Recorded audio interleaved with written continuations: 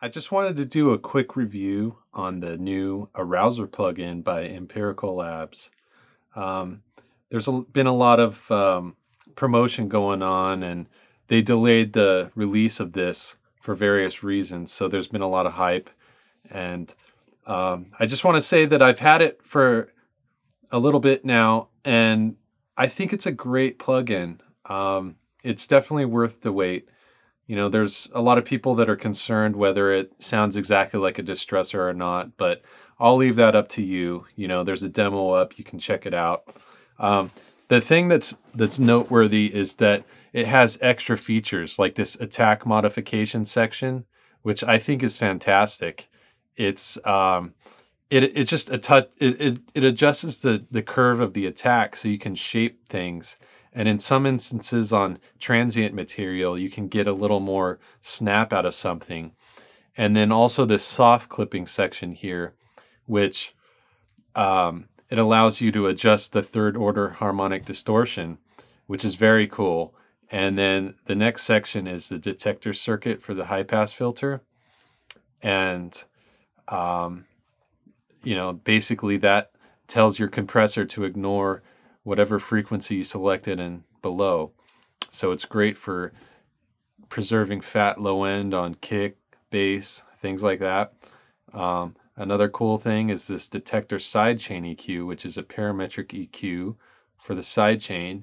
So this can, you know, this lets you zero in on frequencies that you want the compressor to help emphasize or to take away.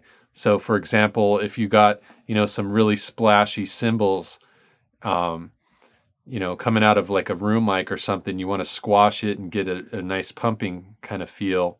This can help because you can throw it in 10K and make it kind of a wide bandwidth or whatever you want. And then you basically cut it here and it'll remove that. So it'll, it'll compress that frequency more than the rest.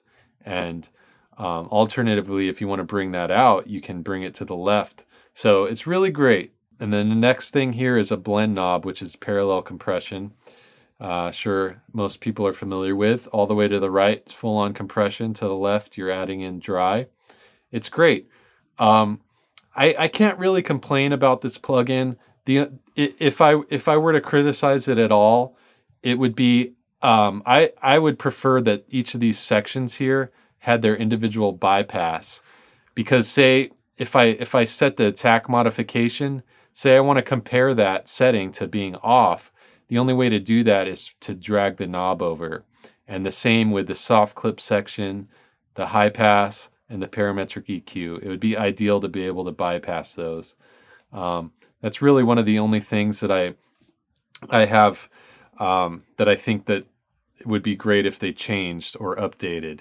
Um, another thing is I wish um, if I could have everything, I would have at least another band of this sidechain EQ because it's it's really cool. That's pretty much it. I'll leave you with an example. I got I just got a drum track here. There's nothing on it.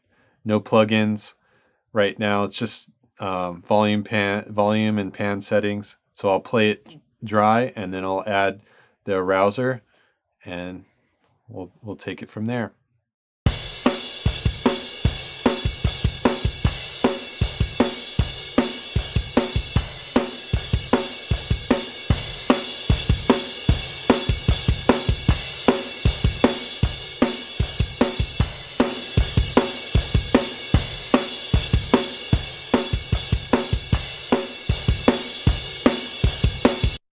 So as you can see, it definitely adds excitement and aggression. Um, I won't go into detail on different settings and stuff like that. Um, I went ahead and I did a longer, more in-depth video where I used this on individual tracks in a mix and I show that as an example. So look forward to that video. And in the meantime, pop over to Empirical Labs website and download a free demo and see what you think. And I'll check you out next time.